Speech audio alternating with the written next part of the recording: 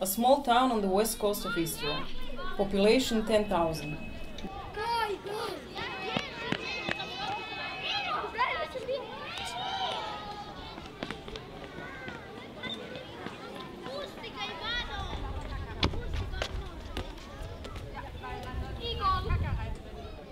The town has a tobacco factory, nema više, and a fish cannery, uh, ima i dalje, prodano, an institute for maritime biology, ima i dalje, an aquarium, ima i dalje, a number of cultural and educational institutions, pa ajde, ne, ne bi baš rekla a number of, ali ima ih, a museum and a gallery, ima više galerica. The surrounding countryside produces good wines, i dalje imamo dobra vina. Nema veze, znači tu ti piše malo o povijesti Rovinja.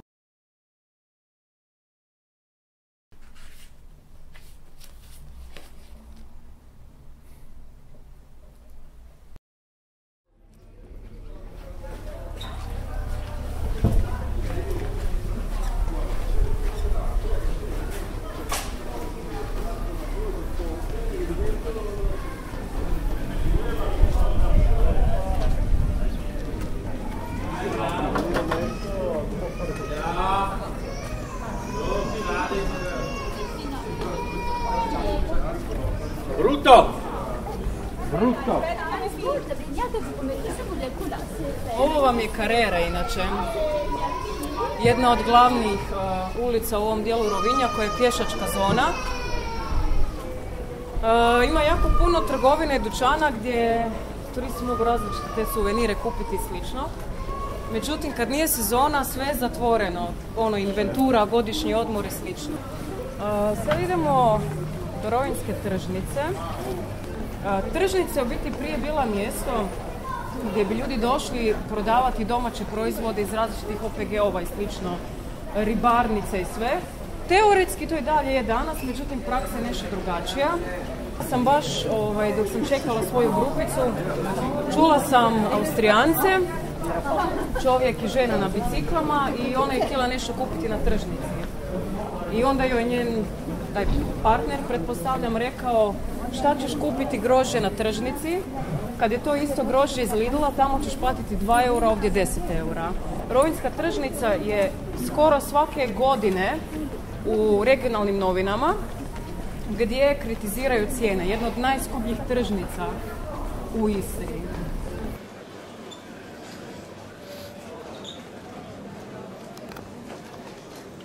Tu ima jedan lijepi view, tu ću vas voditi.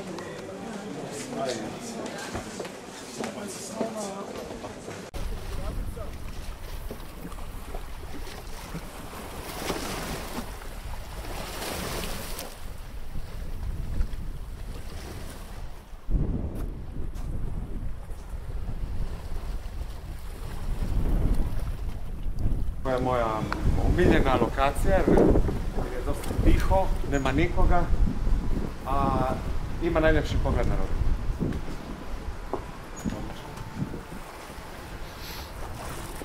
Šta misliš o Rovinju kao Rovinju grada aktivizma?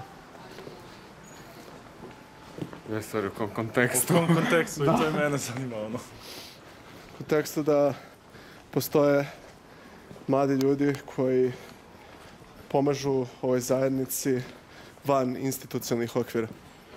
Pa po tom pitanju mislim da je Rovinj dosta otvoreni grad i liberalan.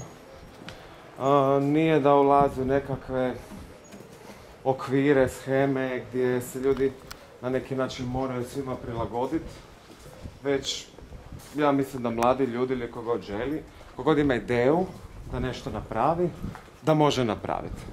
Da li to bila udruga, da li to bio nekakav event, da li to bilo bilo što. Ali šta da se pokrene u ovom gradu? Tu je jednostavno premalo ljudi. Znači, po defaultu ovaj grad nema kritičnu masu.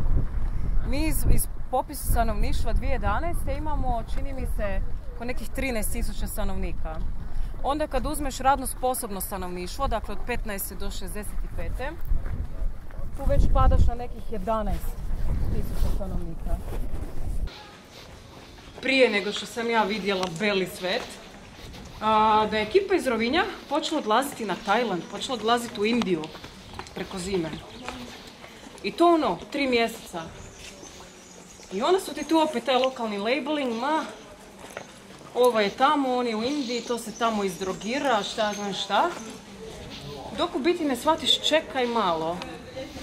Koliko me koštaju režije ovdje zimi, grijanje i slično. Rađe da odeš ako sad nemaš obitelj, djecu koje moraš voziti u školu i slično. Pa misliš, šta je loše u tome da odeš tri mjeseca u Tajland?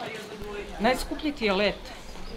Najam, život je puno pristupačniji nego, nego ovdje. Ćao!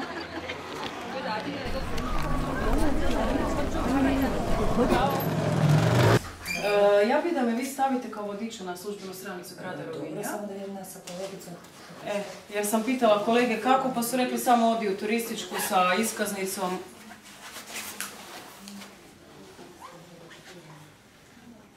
Gle, ja ću samo mogu kopirati tu licencu, pa ćemo te staviti na naš... Da, e, imam još slovenski položen, ali ga nemam upisano, moram ga Čekaj, upisati. di ti to, aha. Iza. Dobro, gledaj, kad ga upišeš, pa nam onda ćeš... Ili vam mogu ako ćeš potvrdu poslati, jedan potvrdu. Može i tako, na ovaj naš glavni info. Može, super.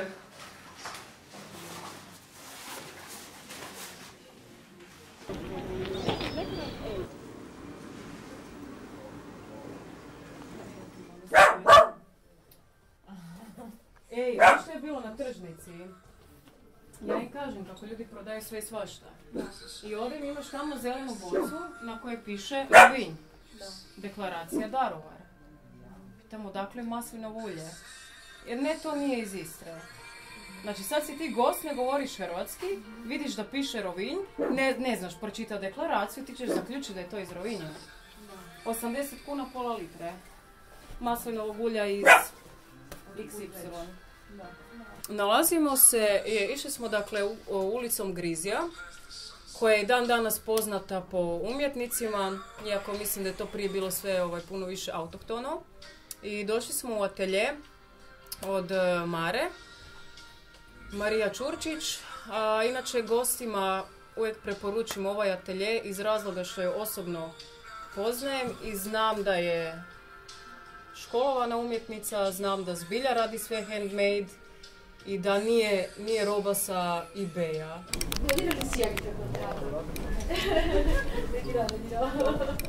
Bene, allora, buon segmento, ciao.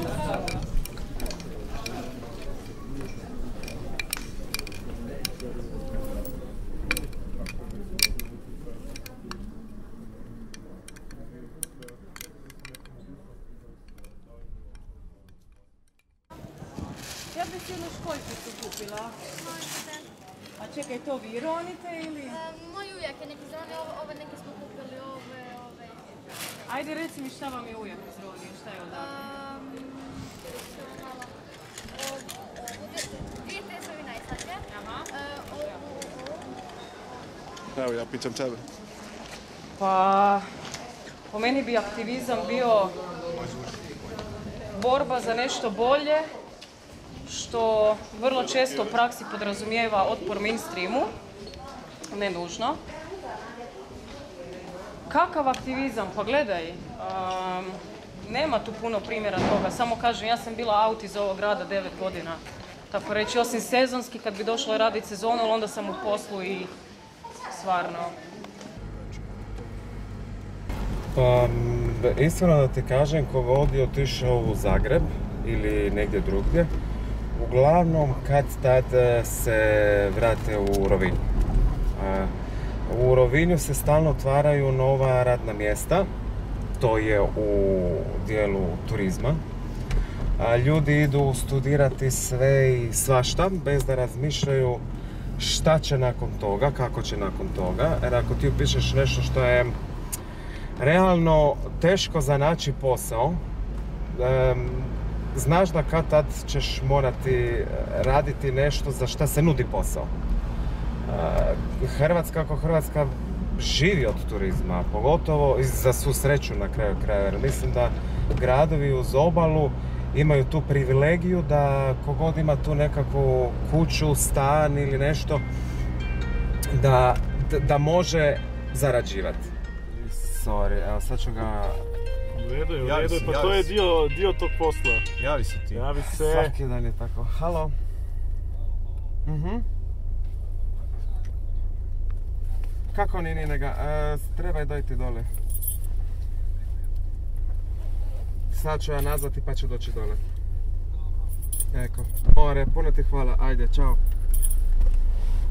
Idem ja samo otvoriti. Ok. E,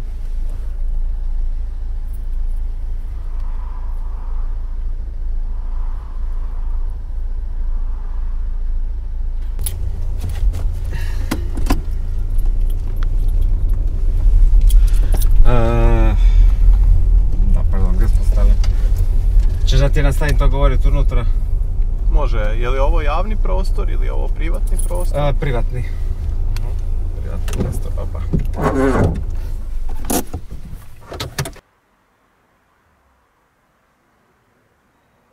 Tako je. Znači, ovo je dio gdje ja držim scenografiju, bilo što što smo radili, da li za izložbe, da li za e, spotove ili nekakve privatne projekte.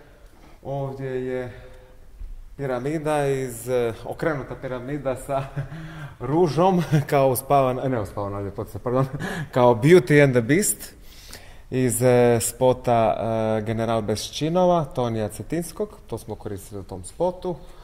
Onda ovdje imamo druge dijelove scenografije što smo koristili u spotu Tijani, Surrender. Onda opet ovdje također je za spot Tonija Cetinskog, ja ne znam nikog boljeg od tebe, s time da ova lutka nije bila ovdje, niti ovo.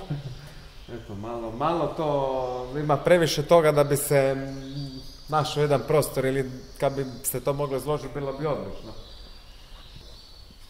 Onda tu su, nažalost, postavljene slike i drugi dijelovi moje privatne izložbe Luminar, koja se prikazala u Rovinju, u multimedijalnom centru, pa u Fotoart Batani, naknadno je išla u Zagreb, u tunelu Grič na festivalu Fantastike, Zagreb Film Festival i naknadno išla je u Beograd na festival srpskog, srpskog filma Fantastike, gdje je čak i dobila prvu nagradu kao najbolja svjetlosna instalacija.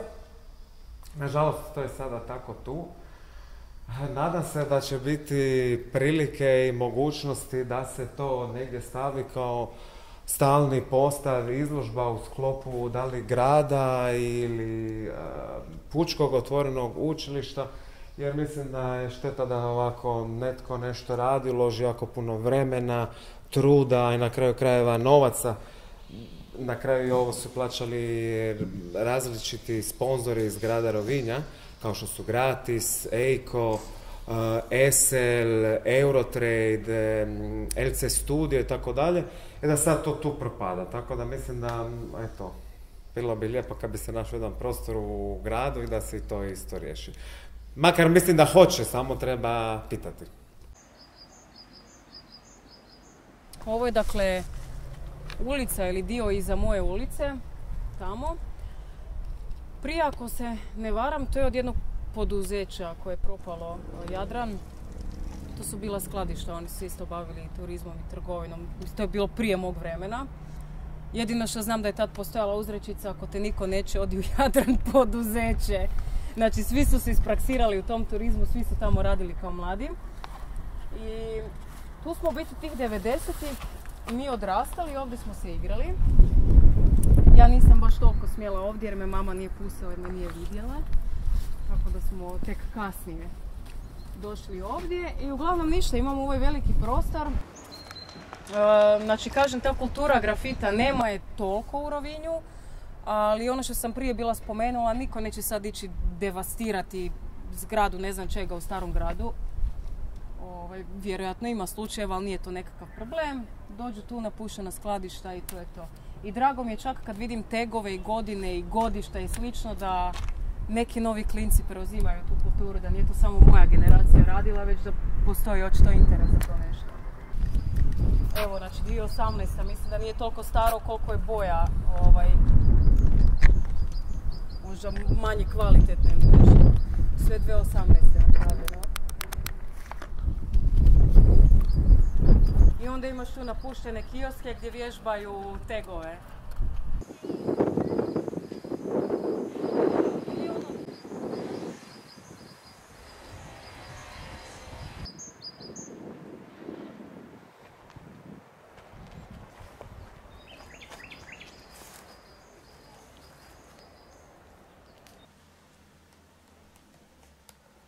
Nemamo toga. 16 godina.